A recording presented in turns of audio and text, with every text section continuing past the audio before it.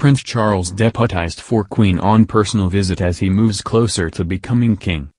Prince Charles carried out a deeply personal visit to honor Prince Philip in June.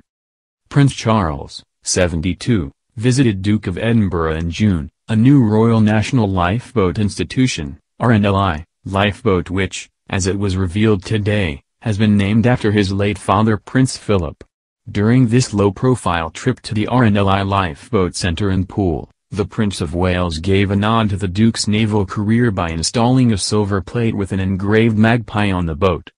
Pictures taken on the day show the heir to the throne fixing the tiny plate to the boat with a screwdriver.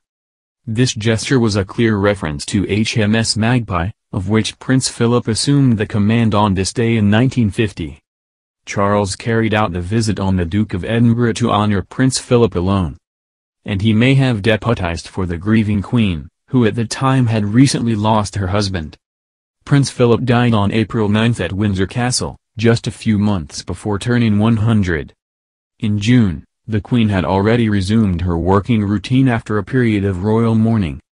Among the highlights of her diary from that month, there have been the first in-person audience with Prime Minister Boris Johnson since the beginning of the pandemic and her royal tour of Scotland.